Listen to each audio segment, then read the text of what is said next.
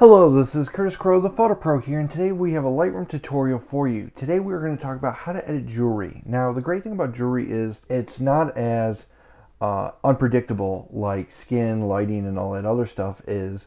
Uh, pretty much most situations you can use pretty much the same brush in order to edit multiple photos. So what I have for you today is an outdoors photo in shade, a outdoors photo in the sun, a photo for you that was completely lit with a flash and a photo for you that is uh, lit with flash but has ambient light there. And the great thing about those last two ones is they are indoors. So I'm showing you pretty much every lighting situation. Uh, and I'm going to use just about the same brush for the rings, the necklaces, and all that stuff. So to get started, we're going to go ahead and go to our brush tab here and we are going to use a custom brush. And if you want to create your own brushes I do highly recommend it. I have my brush pretty much set here. There we go. 25 and that's about where I want it. Um, highlights and there we go. You want to play with shadows but you want to be careful in what situation you want to play with shadows, but you want to be careful what situation you're in. Because if you're going around the neck, like we are here, and there's shadows, it's very, very easy to accidentally veer off and hit uh, the shadowed area on their neck, and it will make a weird line. So for this necklace here, we're going to avoid using the shadows tool in our brush. So here we go. Because clarity alone is enough to really darken some of those uh, darker places and brighten up those lighter places.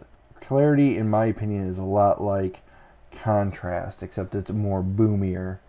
So let's see where exactly we've already clicked. So we're going to go right here, and we're just going to be very careful.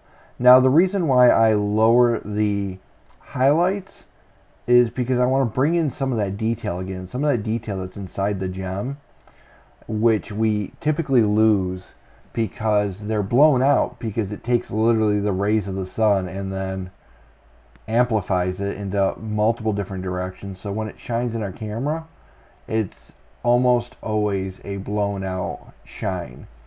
So using that highlight tool, we can bring some of that detail back and we want to be very careful here. There we go. And then we are going to double check our area in which we went ahead and made changes to. And we're going to hit some of the spots that we missed real quick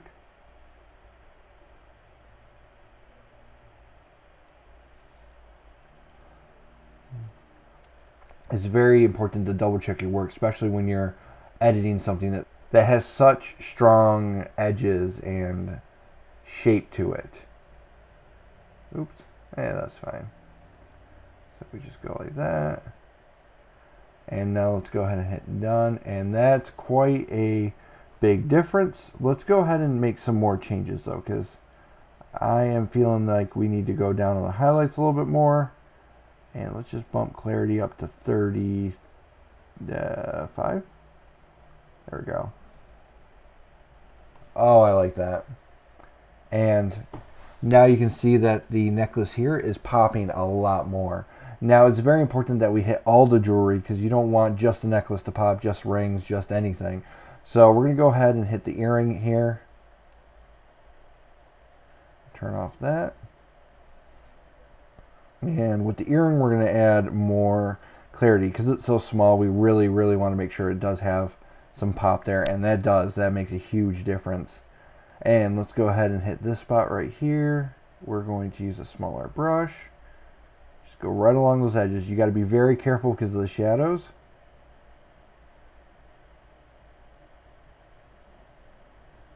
Go. Just follow the line. And let's hit the pendant and then we're going to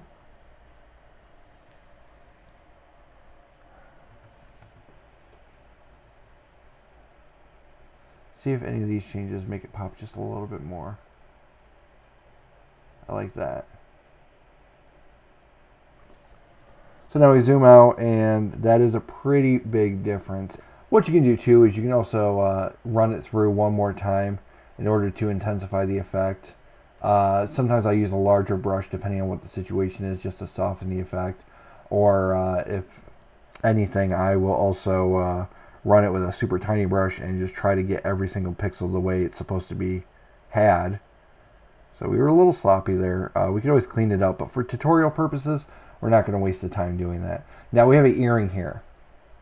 Earrings, again, we're going to intensify that more. But being we already have the uh, the necklace settings pretty much in here, we're going to go ahead and hit that necklace one more time. And once we run over that, we'll do the earring.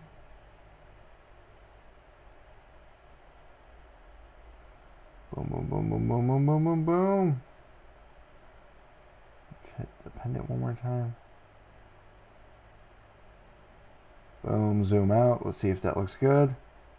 That does, it's definitely popping. And now we're going to hit those earrings. And we're going to still use the same brush, but I'm going to show you what I like to do. So I like to keep the same values uh, in the ratios in which that they are already in. So even though that does have some pop, we're going to go ahead and click here. And then we're going to click and drag after we selected it. Drag it to the right to make it more intense. Boom. Zoom on out. And then that's got some real pop to it.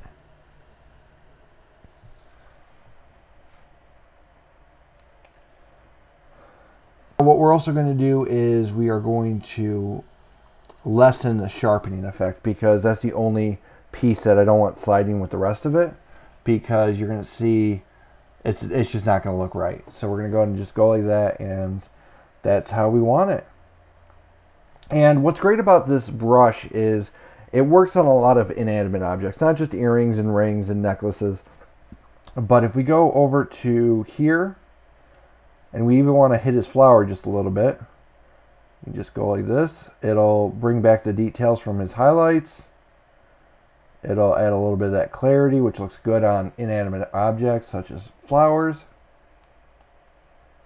And that will help these items pop significantly and bring back their detail.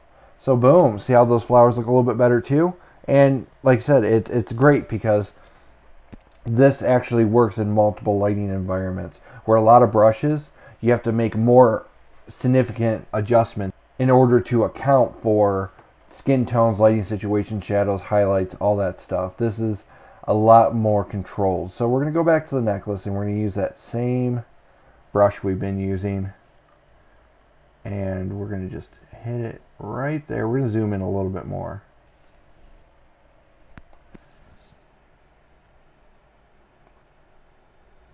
Just look at that.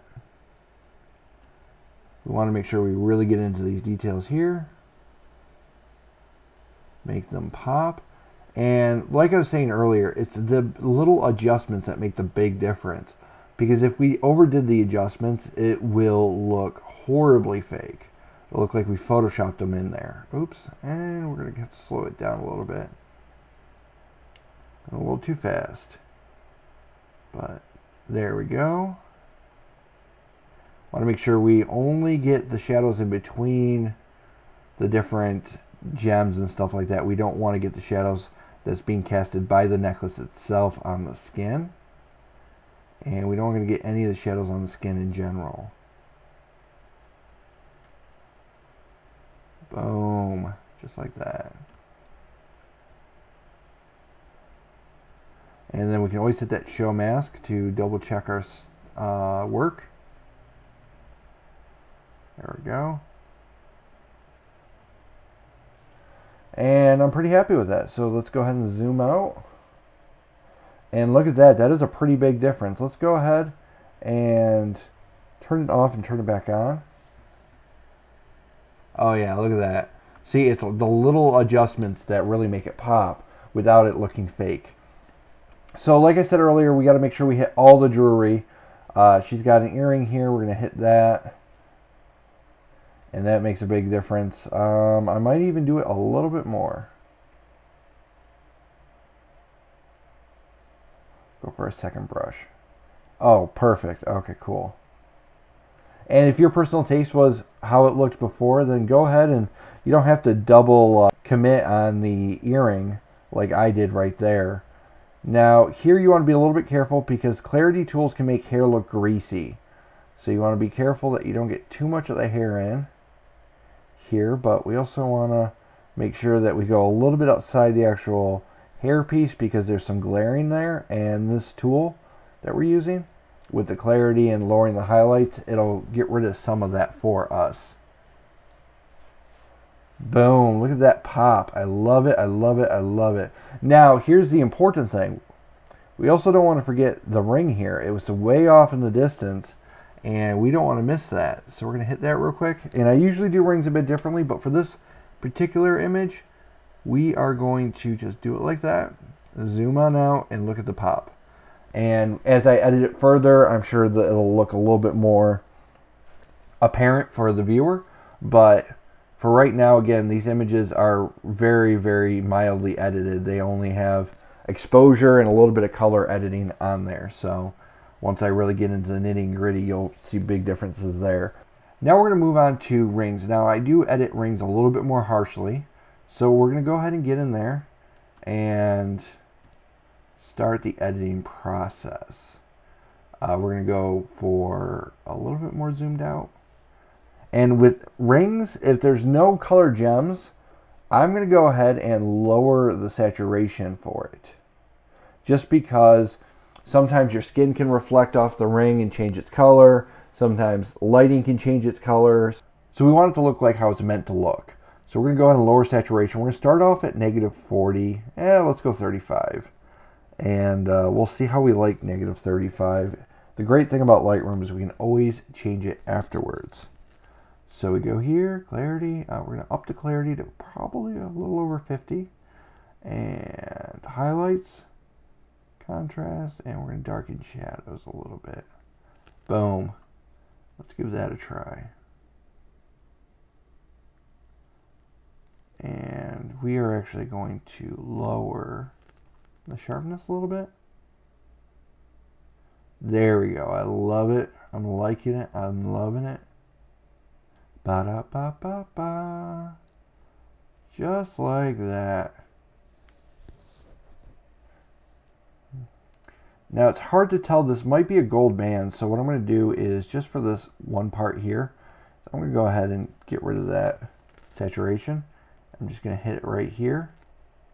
Uh, a good thing to do is always check your other photos as a point of reference. Oh my gosh, I love it. It's popping right off the paper. Do you see that? That minor adjustments is literally making that ring look like it's coming out of the photo. And I love that look.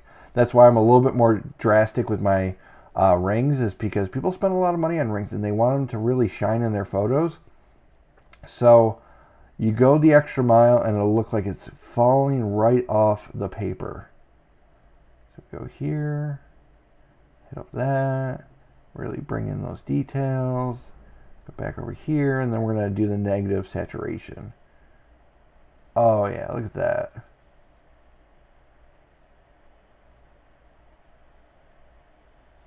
Now, if you notice, the uh, redness looks a little off. That's because I'm using the auto masking tool. Uh, you don't have to use that. I'm just using it because I usually just have it on. Um, it is situational, so you may want to turn it off. We're just going to minus this a little bit.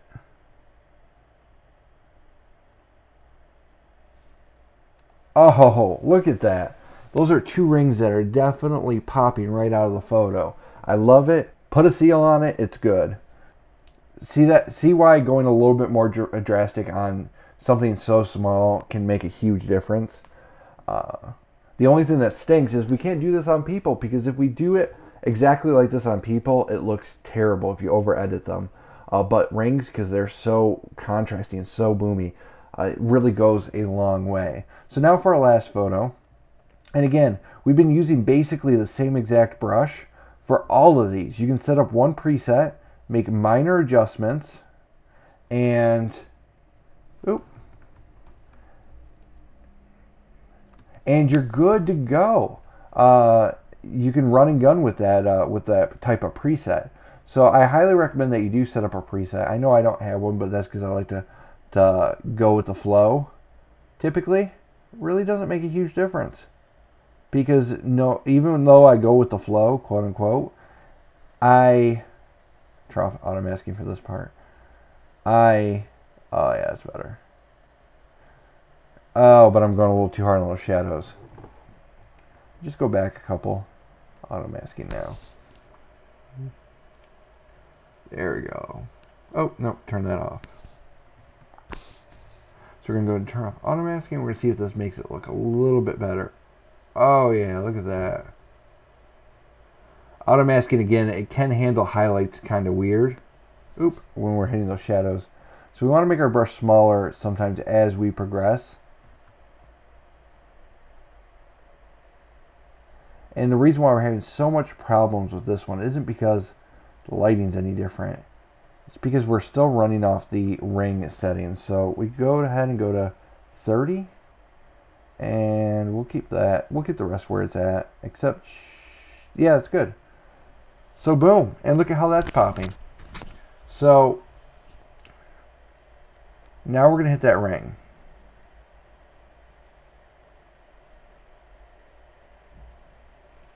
See, it does have a little bit of gold, and that's why I said looking at your other photos uh, is, is, important when you're editing these things because if I didn't know that and I would have got rid of all the saturation, it would have looked weird to the viewer, which is going to be the wedding couple, which actually own the ring. So that's why these things are important. Oh yeah, yeah, just just oh yeah, that's good stuff right here. And then we go ahead and there we go. Ring is popping now. Necklace is popping. We got another ring right here. We got to hit.